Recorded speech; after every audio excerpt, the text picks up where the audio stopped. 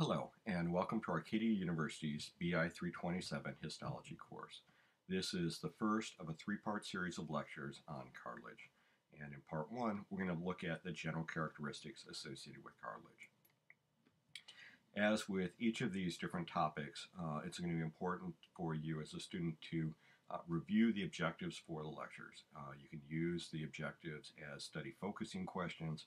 You can also use this as information that will help you to determine what are the important concepts and information that you need to pull out of uh, these lectures and, and understand for a better understanding of these basic topics.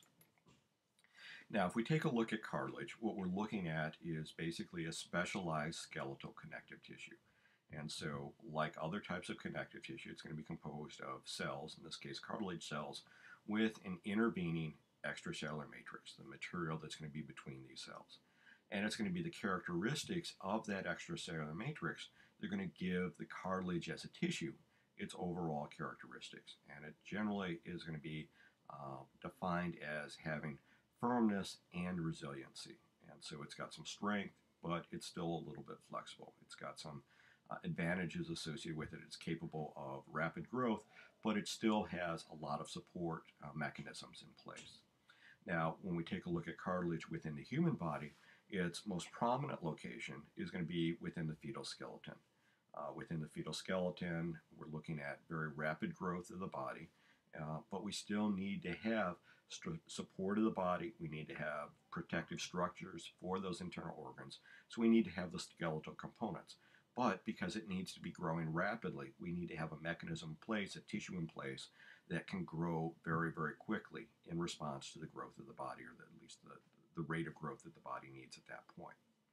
Now, in general, what we're going to see is that most of the skeleton is going to be replaced by bone with later development into childhood, into adulthood.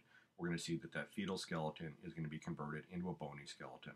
But it's important to recognize that go- there are going to be some locations within the body, uh, the tips of the, the long bones in the joint cavities, uh, the, the nose, the trachea, the ears, where we're going to see cartilage persisting.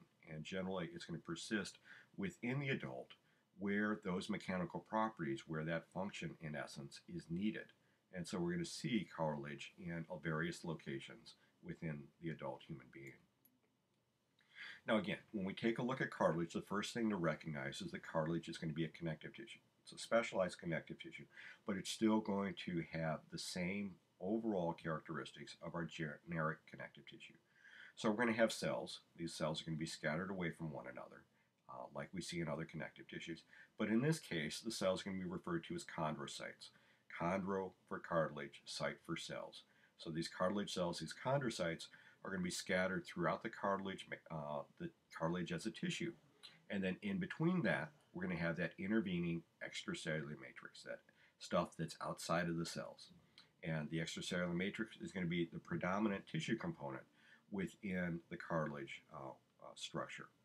Now, it's important to recognize that the matrix is going to be avascular. We're not going to have blood vessels that are going to penetrate into the cartilage tissue.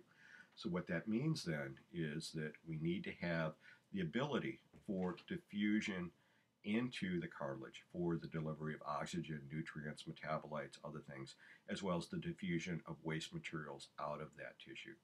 Now, again, because of the characteristics of the extracellular matrix, we've got a lot of water in that region. We've got uh, some resiliency associated with it so that you can compress the cartilage, squeeze the water out a little bit, but like a sponge, when you remove the pressure, it's going to go back to its normal size and shape and draw the water back in. And the presence of lots of this water is going to facilitate the diffusion materials both into and out of the cartilage tissue. If we take a look at the components of the extracellular matrix, like other types of connective tissue, we're going to have fibers and ground substance. Now, in, in, in collagen, the fibers, I'm sorry, in cartilage, the fibers are going to be type 1, I'm sorry, type 2 collagen.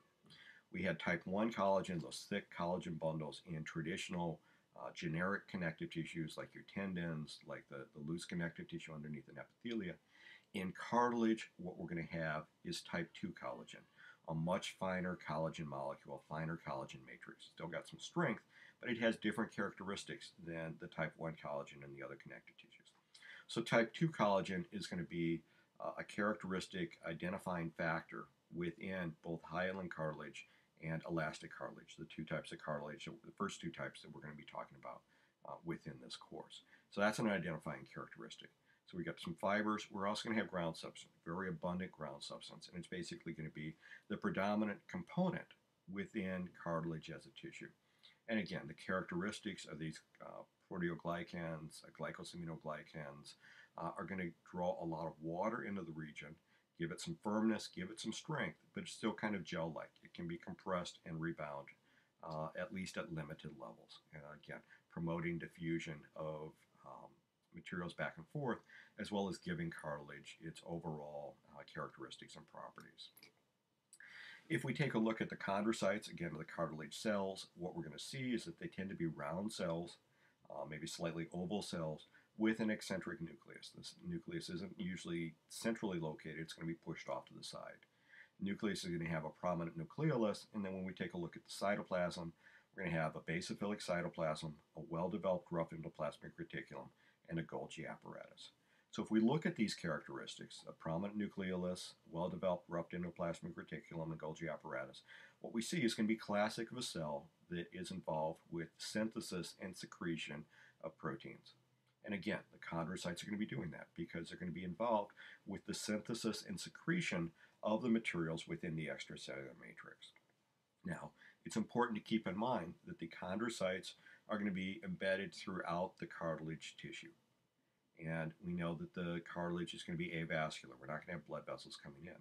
So it's going to be the chondrocytes are going to be dependent upon diffusion for the delivery of oxygen, the delivery of metabolites, the delivery of glucose, uh, the diffusion of waste materials out of it.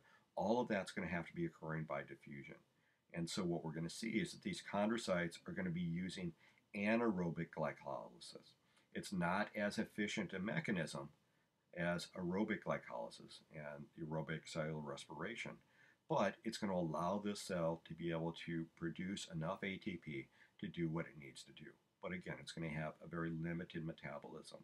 And again, that's a characteristic of the cartilage tissue. If we look surrounding the cartilage tissue, we're going to have a perichondrium. Peri for around, chondri for cartilage. So we're looking at a region around the cartilage. The perichondrium is basically going to be a dense connective tissue, which is going to be surrounding the cartilage and helping to connect the cartilage to the surrounding tissues and organs.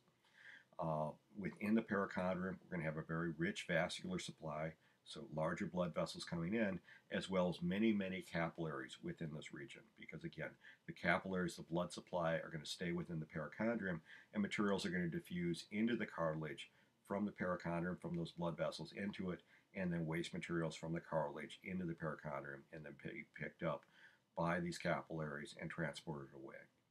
If we look in finer detail at the perichondrium, we're going to see that there's two basic layers within the perichondrium.